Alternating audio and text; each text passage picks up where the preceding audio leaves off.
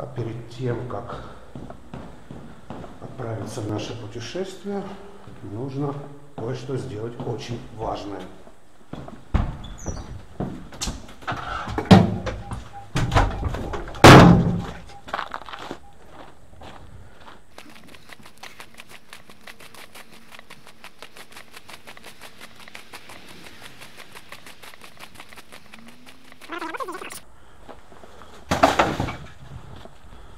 Все, важное дело мы сделали. Теперь можно ехать. Приветствую всех, кто смотрит это видео, которое на нашей маленькой домашней кинодельне я скопил из того, что было, а именно экшн-камеры за 3000 рублей и телефона за 20 тысяч рублей. Так что за качество видео не судите строго, ведь сие кино я лепил не от дорогущего оборудования, но от чистого сердца. И в нем я покажу вам нашу поездку в Нижний Новгород на поезде «Стриж» Ну, пойдем. И немного того самого Нижнего Новгорода. Только не говорите, что они встали. Ё-моё. Ну а вы, уважаемые зрители всего, после просмотра видео до конца напишите в комментариях, какие ошибки не стоит допускать в следующих видеороликах. Итак, вооружившись вышеперечисленной аппаратурой и своей второй половинкой, я отправился в сие увлекательное путешествие. Всем привет. Сегодня Рождество. И на Рождество мы решили поехать в Нижний Новгород. И не просто поедем, а поедем на поезде Сапсан. Чего, блядь? Посмотрим. Ой, стриж, господи ж ты, боже мой. В общем, посмотрим, что это за чудовище такое. Едем на нем первый раз в жизни. И в этом видео постараюсь показать, что это за такой поезд. Ну и немножко Нижнего Новгорода, если батареи хватит.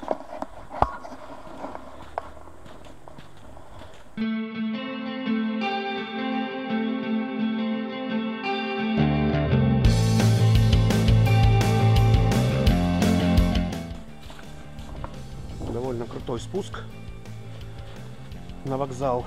Он так и называется, вокзальный спуск. Спускаться по нему с утра нормально. А вот когда ты набегаешься, по городу нагуляешься, приедешь обратно и не будет нужного троллейбуса, подниматься по нему будет счастье еще то. А все дело в том, что на Владимирском вокзале более-менее прилично ходит только один троллейбусный маршрут. Это «десятка», к которой мы, конечно же, не имеем никакого отношения. Остальные маршруты общественного транспорта – либо маршруты-призраки, либо и вовсе маршруты-мертвецы. В общем, не буду долго напрягать вас одной из самых больных тем всех владимирцев, а сразу заходим в здание железнодорожного вокзала. Охранников на входе с рентген-порталами в здание вокзала я показывать не буду. Как только пройдем фейс-контроль, так и включу камеру опять. Ну что, вот мы зашли на вокзал. Через полчаса прохода. Через минуту прохода. Через турникеты, вот эти все рентгены. Наконец на вокзале. За что я люблю Владимирский вокзал? За пустоту. За то, что здесь мало народа всегда, по сравнению с тем, что было в Москве, да и будет в Нижнем Новгороде. Здесь реально очень мало народа. За это я очень люблю Владимирский вокзал.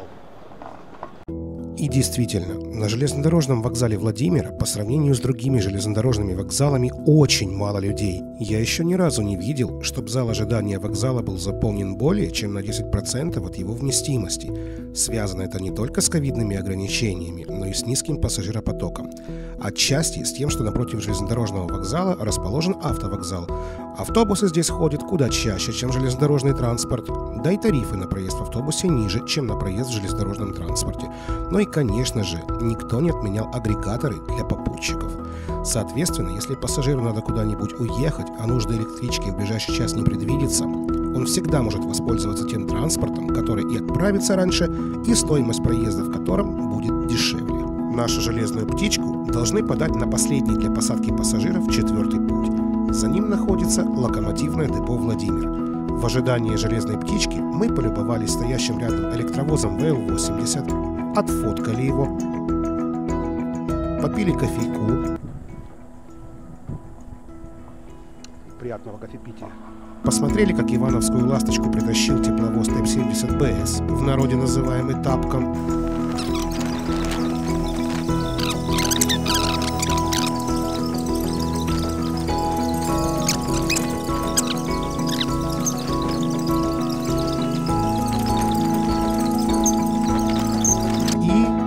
вот и наш поезд. На горизонте показался электровоз ЭП-20, который и тащит наш стрижек. Электровоз ЭП-20 двухсистемный, поэтому стоянка у нашего стрижика по Владимиру всего-то навсего две минуты. Благо на платформе есть указатель, в каком именно месте останавливается нужный нам вагон. Вот он, наш вагончик. 15 -й. Двери в вагон открываются, конечно же, не все, а поэтому придется бежать в первую попавшуюся открытую дверь. Все как мы любим. Далее все по классике. Проводник проверяет билеты, говорит номера мест, при этом не говорит номер вагона. А следующий, господи. Заходим в свой вагон, усаживаемся на свои места и... Все, мы в поезде. Сейчас ставим пока камеру на зарядку. Поедем, немножко посветлее, включим дальше. One hour later. Что едем с движением. Вот уже разогнались до скорости 154 км в час. Табло есть, которое показывает скорость. Вижу, народ тут отдыхает, спит, поэтому будем тихонечко. Значит, что я хочу сказать, в принципе, очень удобно все. Блин, нам попалось именно место между окон. Зачем делать такую компоновку? Полнейший предатель. Напишите в комментариях, зачем. Теперь давайте посмотрим, что прилагается. Еще раз посмотрим туда. Видим монитор, по которому транслирует фильм. Звука, конечно же, нет. А для того, чтобы услышать звук, нужно включить вот сюда наушнички. Вот. И также у нас имеется за сидушкой комплект. Нет, это не мусор, как вы могли подумать. Здесь у нас какие товары в поезде мы можем купить. Вот. С обратной стороны напитки, перекусы небольшие. Дальше. Что у нас идет? Справочная информация для пассажиров скоростных поездов «Стриж». Посмотрим, что в справочнике. Вот.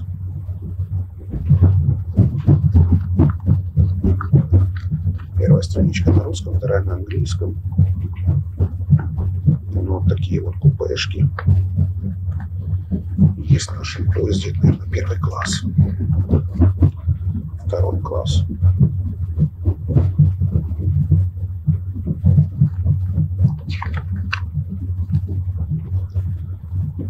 Расположение вагонов.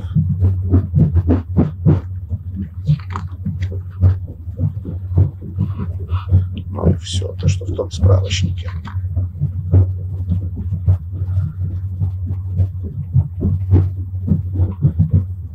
Как на поручнях можно смотреть мультимедийный портал «Помощник». У нас на поручне пусто.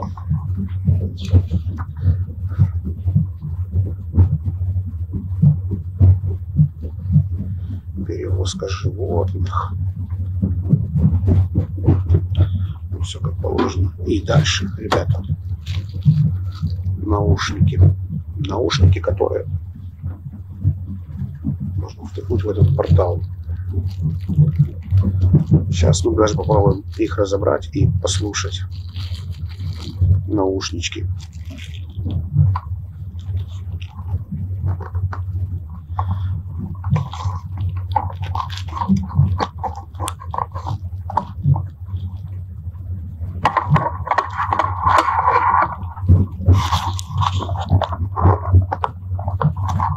Итак, друзья, распаковка наушников. Разрываем пакетик.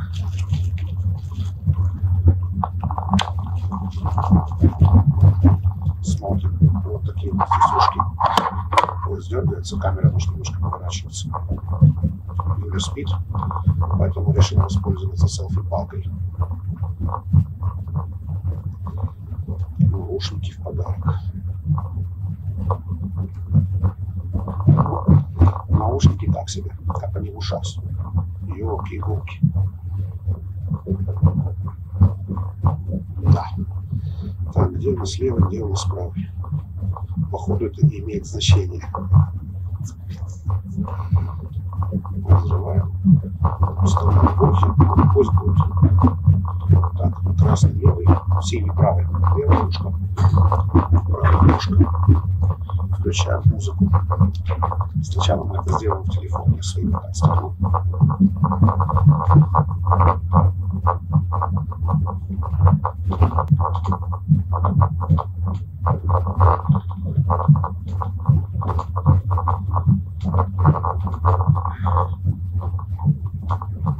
Качество звука ужасное. Потому что это на всю громкость сделано. Слушайте, я такое трешовое качество звука не слышал вообще. Это просто ужас. Если вдруг сейчас включим. Хорошо.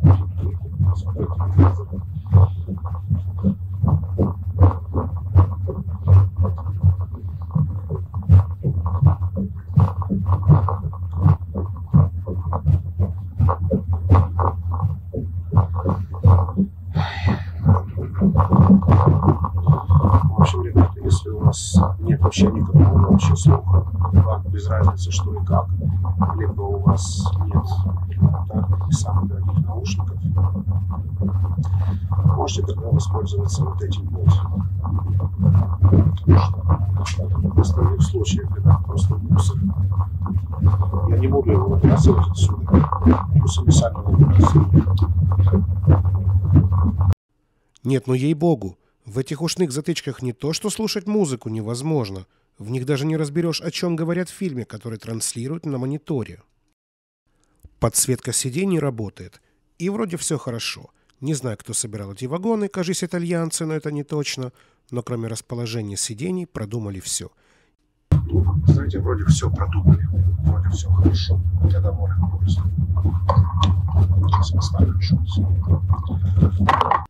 И единственное, что я поначалу не мог найти, это место для подзарядки своих гаджетов. Ребят, 21 век на дворе. Вы чё? Ой, Тут, тут, в общем, вот это вот отсутствие USB и розеток просто убило и разочаровало. В поезде стоишь, а сейчас в обычном плацкартном вагоне уже устанавливают розетки. А здесь их нет. Это что за? По-моему, даже и в Самсонах, я думаю, сто процентов они есть. Но это не точно. Давайте дальше полюбуемся краевидами Владимирской области. А пока я любуюсь красотами Владимирской области, восходом солнца и скоростью 160 км в час, с которой наша железная птичка летит далеко не всегда, в вагон зашел начальник поезда, чтобы поинтересоваться, как дела у пассов, и ответить мне на вопрос, который меня мучает. Здравствуйте.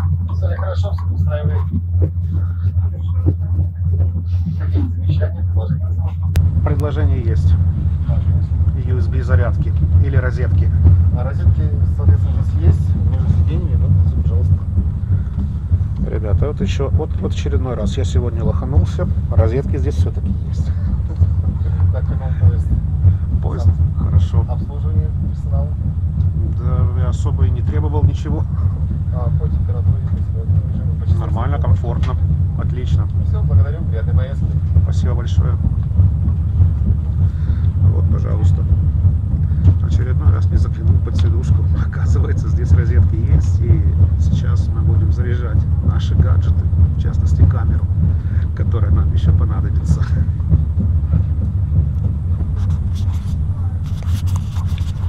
Кстати, вот интересная такая штука. Когда едешь в обычном поезде, в любом другом, ну, не встречай, в любом другом вообще,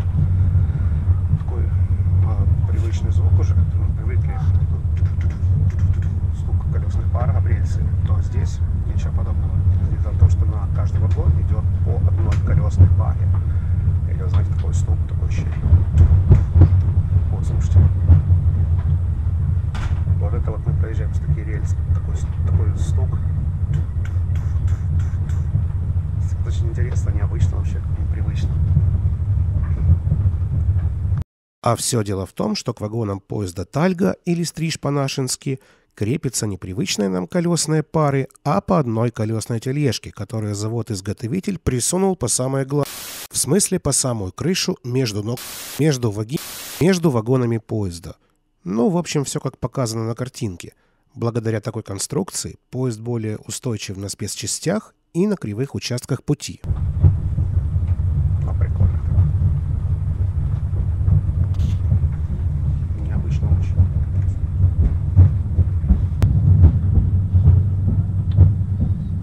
Платформа кажется так близко. Немножко стремновато, когда ее проезжаешь.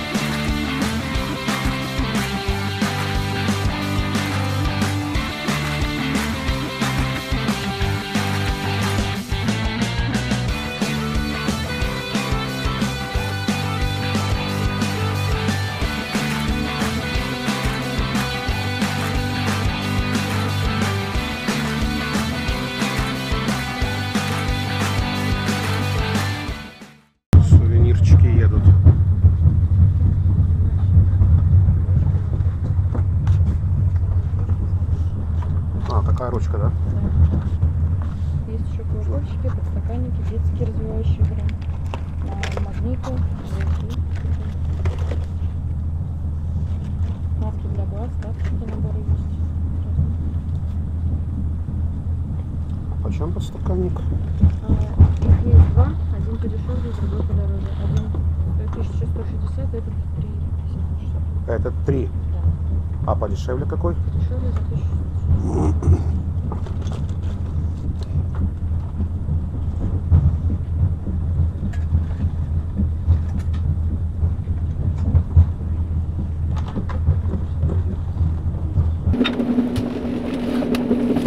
А, Дешевле только за две. Только за две? Угу. Это не по России, это э, город написан. Кисловодск. Вот, А- это, вот это медный А символика РЖД э, стаканника нету? Вот только такие. Тогда извините. Я хотел этот, именно символика РЖД купить бренд. К сожалению, подстаканничка, который хотел купить, не оказалось. Ну ладно, может на вокзале в Нижнем Новгороде будет. Спустя некоторое время она все-таки найдет в закромах поезда интересующий меня стакан и принесет мне его. И моя вторая половинка купит мне его за 1200 рублей. Проблема только в том, что к этому моменту я уже выключу камеру и не покажу вам момент покупки. Но чуть позже я его для вас обязательно распакую. А пока что наслаждаемся видами из окна. Вот мы проезжаем один из самых экологических городов Нижегородской области, Дзержинск. Это самый большой и, я уже только что сказал, самый экологический город Нижегородской области. Здесь стоит куча заводов по производству свежего воздуха. Вот. а, И вообще, если хотите, я как-нибудь сюда приеду целенаправленно, именно в Дзержинск, вообще сделаю обзор на город. Покажу, что это за городок такой.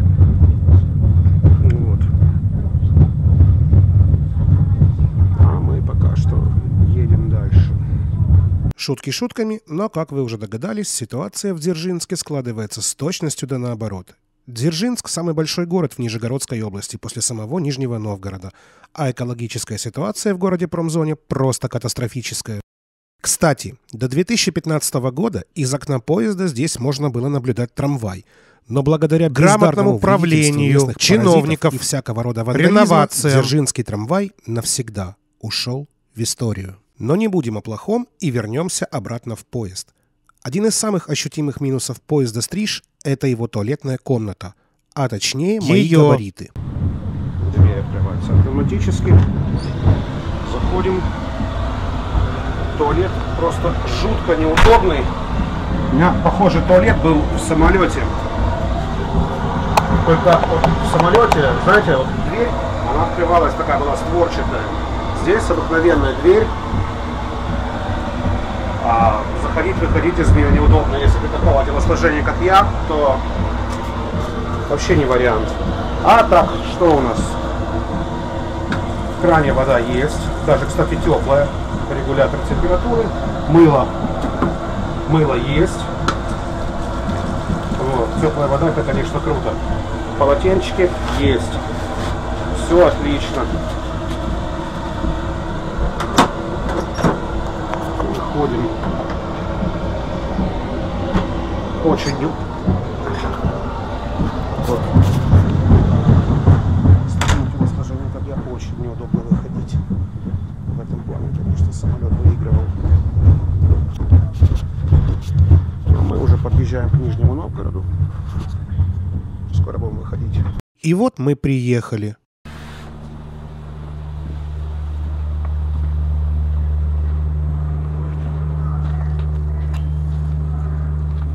Ну, пойдем.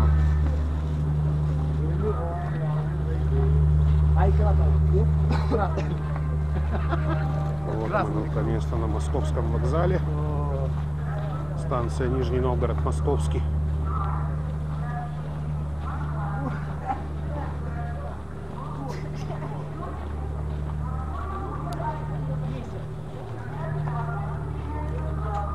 Вот они, колесные пары, такие вот.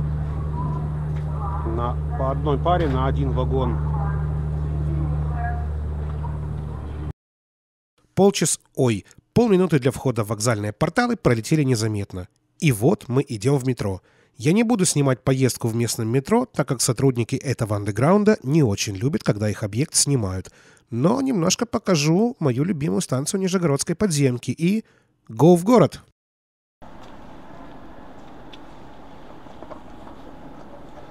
Вот обратите внимание, мы находимся сейчас на станции метро Московская.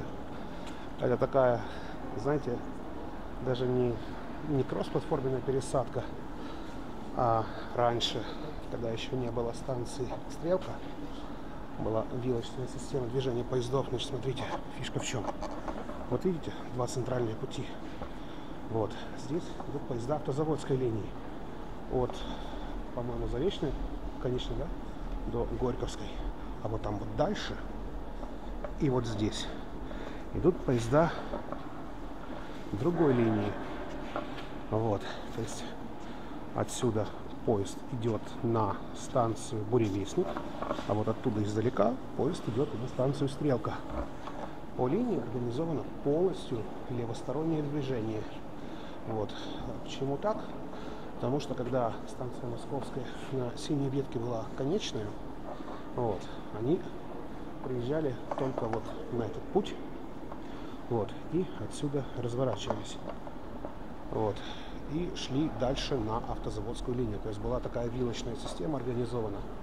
Сейчас уже организовано как бы полноценное движение, да, вот. Но для того, чтобы пустить нормальное правостороннее движение, нужно всю сигнализацию, все переделывать. Поэтому оставили полностью левостороннее движение. Ну хватит уже тарахтеть о транспорте. Давай город посмотрим быстрее.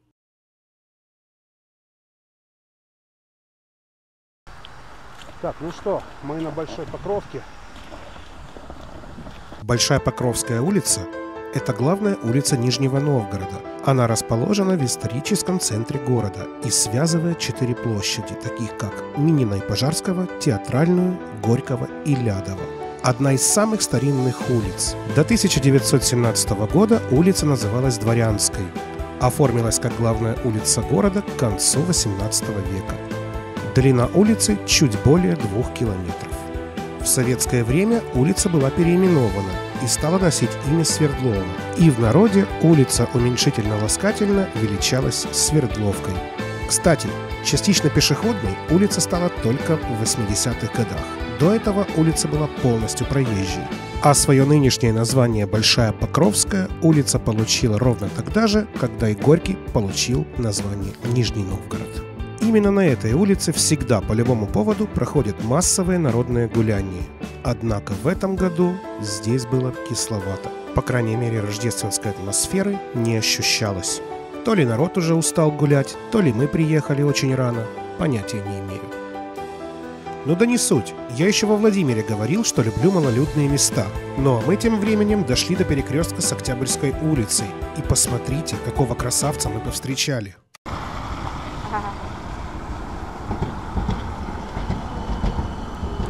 Блин, там деревянные скамейки. Охренеть. Так он типа под ретро сделан. Только не говорите, что они встали. Ё-моё. А не. Встал, посигналил и поехали. Эти вагоны Нижний Новгород закупил в 2021 году под стиль ретро. В нижегородских пабликах говорят, что на деньги, которые были потрачены на эти вагоны, можно было закупить подвижной состав без какой-либо стилистики и в большем количестве. Почему этого не сделали, неизвестно. Ну а мы тем временем пошли искать рабочий ресторан. Но на пути к крестику нам попадается вот это вот чудо. Ты,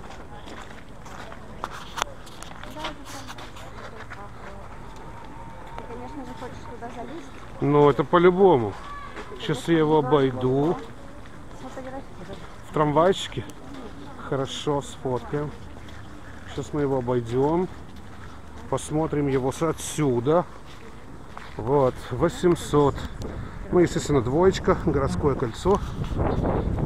Теперь идем внутрь этого городского кольца.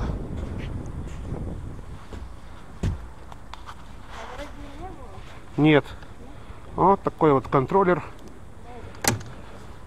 Стопов нет, естественно. Были, но походу в Нижнем Новгороде преобладает такой вид спорта, как спиздинг. Вот. А где он установлен, этот трамвай? Правильно, на рельсах. Дело в том, что по Большой Покровской давным-давно, давным-давно, во времена царьков ходил трамвайчик. Ну, и, наверное, не только царьков. И вот это вот рельсы, которые от него остались. Вот он стоит. Вот такой вот. Вот он. Так, все, жопа, у меня батарея садиться начинает. Ну, следовало ожидать. А возле драмтеатра мы встретили еще одного красавца, не менее симпатичного. Желание исполнить. Надо тереть там, где еще краска есть. Вот здесь, например. Ага, Видишь, чтобы ее не всю. испачкать. Зато больше шансов, что желание исполнится. Рогатый. Рога труд. Левый рога, правый рога. Да. Какое? Я тебе не скажу. Почему? Потому что коза сказала не В 11 часов утра почти все кафешки на Большой Покровской закрыты, а в поисках открытой кафешки мы обратились за помощью к Яндекс Навигатору. И, естественно, Яндекс Навигатор повел нас в открытую кафешку в своем неповторимом стиле. идем в кафешку, в украинскую кухню. Не знаю, где она находится. Ну, как бы знаю, но на улице Алексеевская. Не знаю, как туда пролезть с Большой Покровской. Что приходит на помощь? У людей спрашивать? Нет, вы что, на дворе 21 век. Фу-фу-фу. Нельзя с людей наушники снимать. Конечно же, Яндекс Навигатор. Вот он ведет нас по вот таким вот дебрям. Исписанные стены, вот, недействующие ларьки, может даже не продаются. И вот Яндекс Навигатор ведет нас по таким вот дебрям. Прицеп, какие-то дома. В общем, парадная улица Большая Покровская закончилась. Настало время увидеть обшарпанные дома, возможно, заброшки, хотя, судя по антенне и пластиковому окну, не совсем заброшка. Вот с обратной стороны то, что мы видим на Большой Покровке. Вот оно все. Идем дальше.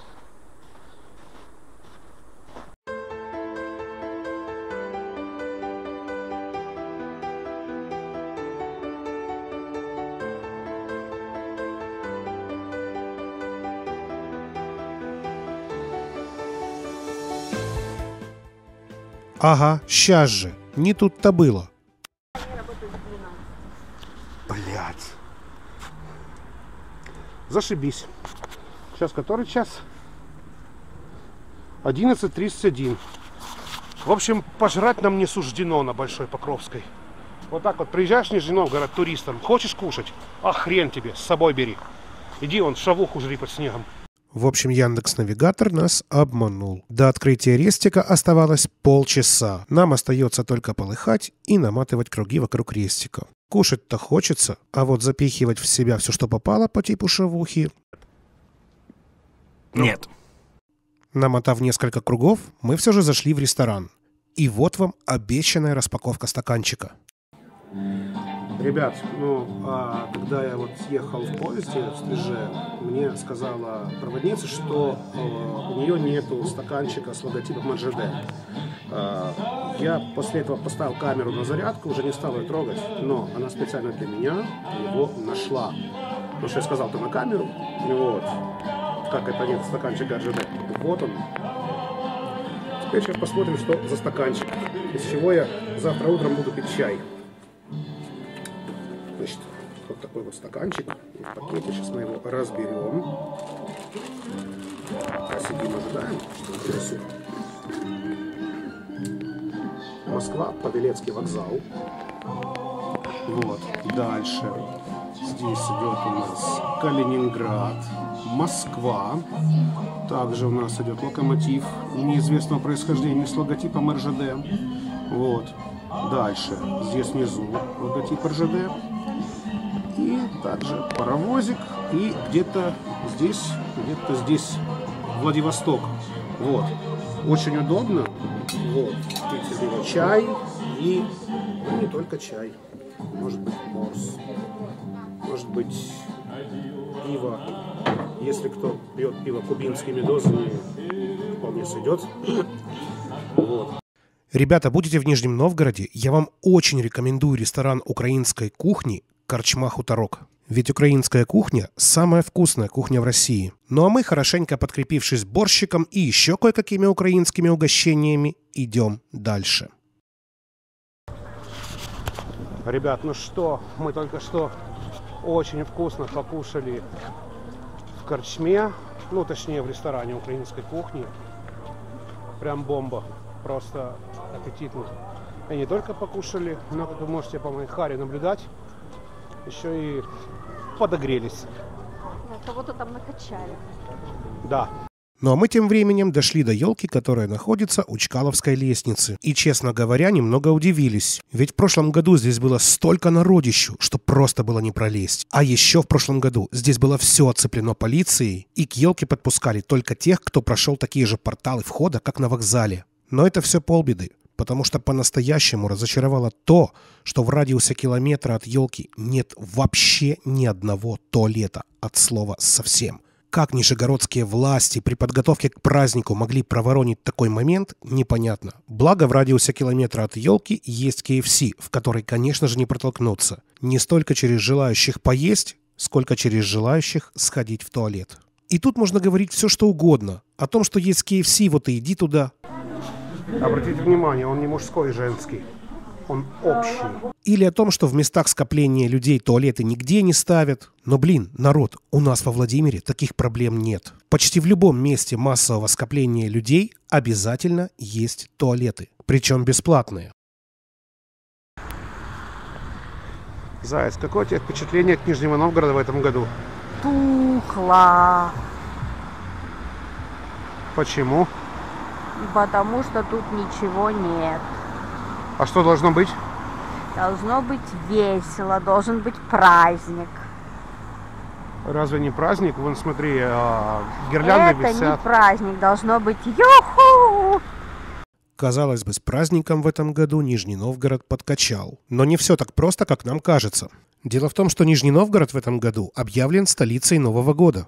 И тут возникает вопрос, а где же праздники? Где здесь те самые массовые народные гуляния? Где новогодняя ярмарка? Где Дед Мороз, который вечно лезет, чтобы с ним сфоткались? Где все это? Спокойно, это все было, но не на Большой Покровской. Это все происходило на улице Советской, в районе Гребневского канала. Самое обидное в этой ситуации то, что мы об этом не знали вообще. И, конечно, очень хотелось бы, чтобы нижегородские власти не экономили на рекламе таких мероприятий. И судя по фото и видео из соцсетей, Нижний Новгород в этом году отметил Новый год просто шикарно. Ну а мы тем временем поехали на Сенную площадь на одном из новых нижегородских ретро-трамваев.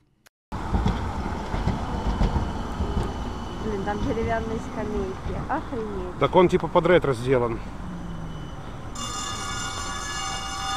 Что хорошо, остановка. Обратите внимание на остановку трамвая. Лавочка. Два отбойника. Но в принципе красиво. Тут, тут не придерешься. Как-то вот, знаете, сделано вот так вот по старину. Вот интересно. И вот наш красавчик приехал. Мы покатаемся вот на этом вот трамвайчике. Городское кольцо, да?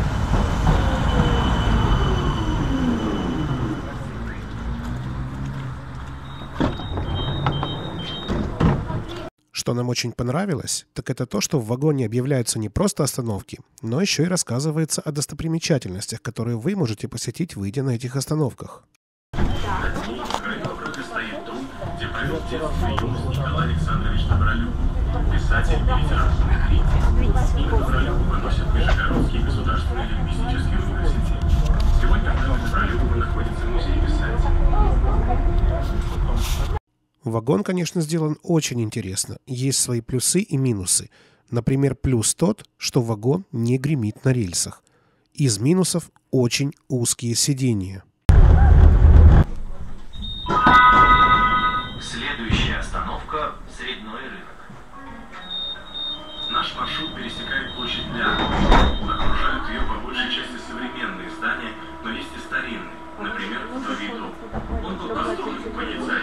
Да. Сейчас скажу. Николая Бугрова. Здесь проживали женщины с детьми, 25. армейцев. Сегодня памятник. Достаточно.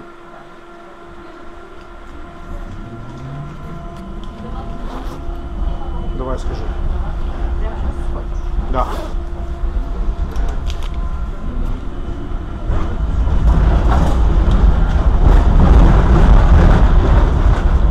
А еще из минусов можно отметить то, что в вагоне нет кондуктора. Билеты продает водитель. Как так-то? Это же очень сильно мешает водителю разговаривать по телефону. Девушка, здравствуйте. Дайте два, пожалуйста. Два? Два.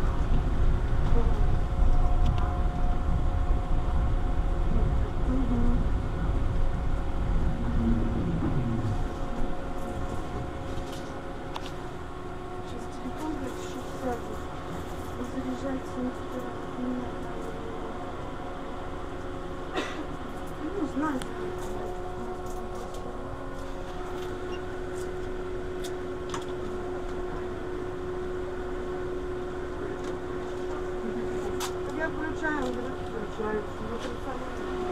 Да и вообще управлять вагоном.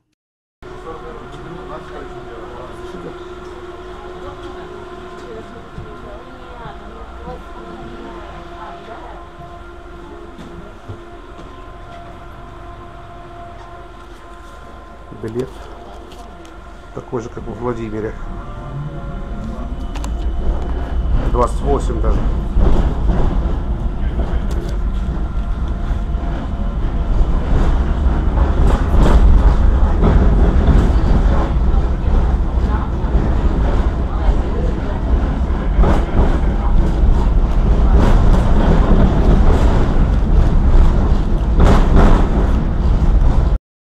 Общем, молоденький ретро-вагон под телефонные разговоры продающего билеты и управляющего этим вагоном водителя довез нас без происшествий. Следующая наша точка локации – это колесо обозрения на Сенной площади. Следующая остановка – университет имени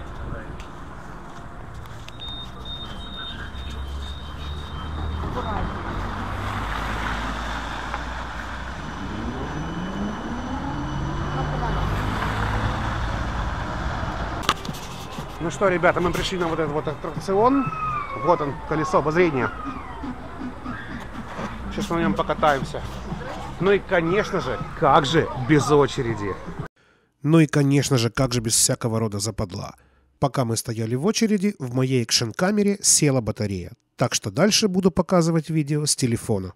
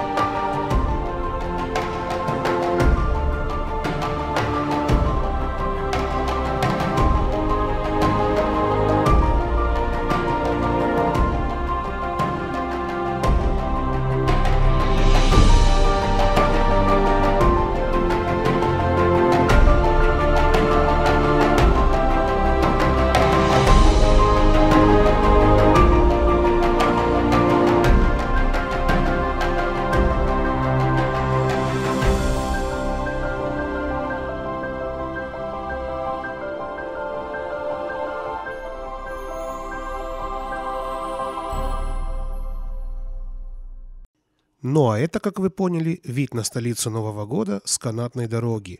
Я очень рекомендую посетить это место и увидеть эту красоту не в объективе видеокамеры, а вживую. Это очень завораживающее зрелище. А время нашего путешествия подходит к концу. И мы направляемся в сторону железнодорожного вокзала. И тут...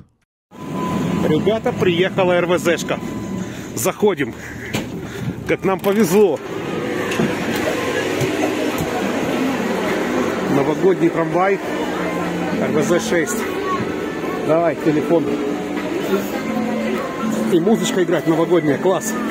Это ли не чудо? По дороге на вокзал нам попадается настоящий ретро-вагон РВЗ-6. Ну, точнее, все, что от него осталось. А остался от него только кузов. Потому что все органы управления, все агрегаты, вся электроника, все это было заменено на современное. Обратите внимание, на этих вагонах с завода было установлено ручное управление. Как в поезде или как в КТМ. А теперь... Здравствуйте, с Рождеством. Какой у вас вагон красивый. Сколько проезд стоит? А дайте мне, да, пожалуйста. А здесь ручное управление или ножное? Как сказала Снегурочка, от электричек и КТМов здесь ничего не осталось. Купив билеты, я решил не отвлекать Снегурочку своими вопросами обо всех тонкостях управления российской реинкарнацией Рижского вагонного завода, а заодно не доводить до приступа ревности свою вторую половинку, и побежал обратно в салон. Что еще можно сказать о вагоне? Вопреки всем установленным на него новинкам, возраст вагона ощущается очень сильно, например, жутким грохотом колесных тележек при езде. Да, гремит, конечно, конкретно. А? Гремит, конечно, вагон конкретно.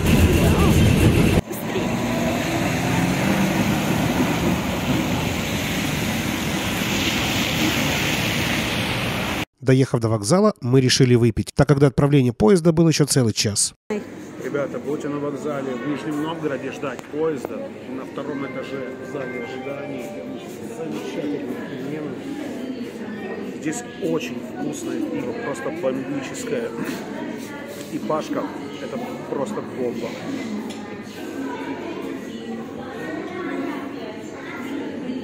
Это, это непередаваемое ощущение. Бокальчик покажи. Смотрите, в таком стаканчике Говорит прямиком из Америки. Знаешь, я ему верю. Очень вкусное пиво.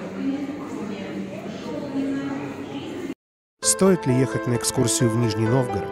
Однозначно стоит. Ведь это не только столица Нового года, но еще и столица закатов. Неописуемая красота Нижнего Новгорода не оставит равнодушным никого. Чего только стоит посмотреть на город с канатной дороги или полюбоваться на стрелки на слияние двух рек – Оки и Волги. Или просто прогуляться по Большой Покровской или покушать в ресторане вкусной украинской кухни. Пройдут новогодние праздники, начнутся рабочие будни, я буду ездить сюда на работу. Да, я езжу на работу в Нижний Новгород, но я обязательно вернусь сюда еще много раз.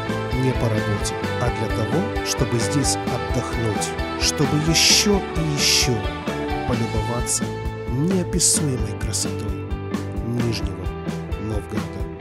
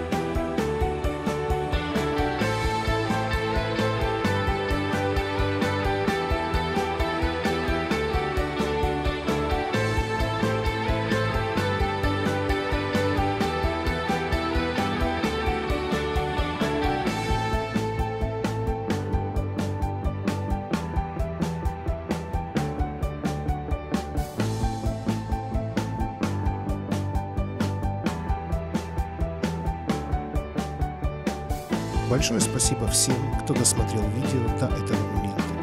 Это значит, что вопреки всем косякам, Анна интересная. А для того, чтобы такие видео были еще интереснее, напишите, пожалуйста, в комментариях, на что стоит обратить внимание и что стоит изменить. Ставьте ваши лайки. И до новых встреч! Так, любі друзі, ми назад їдемо обыкновенным поездом, плацкартным вагоном. Вон, давайте посмотрим. Стоит стриж. Вот он, сука, вагоны первого класса. Как бы я хотел на них поехать сейчас. И вот, там такие кресла классные. Вот, столики, прям как вагон-ресторан. Не заработал даже на вагоны второго класса пока еще. Учитывая то, что мы едем на обычном поезде. Так а ты мне зачем? Я тебе зачем? Чтобы меня любить, баловать. Заяц, я тебя люблю, балую и обожаю. Я ж тебя побаловал поездкой в Москву и в Нижний Новгород. Кто кого это еще вопрос? Я тебя побаловал, потому что это была моя идея. Хорошо, договорились. Вот. Чьи это были финансы, это уже не важно, это вопрос второстепенный. Алло?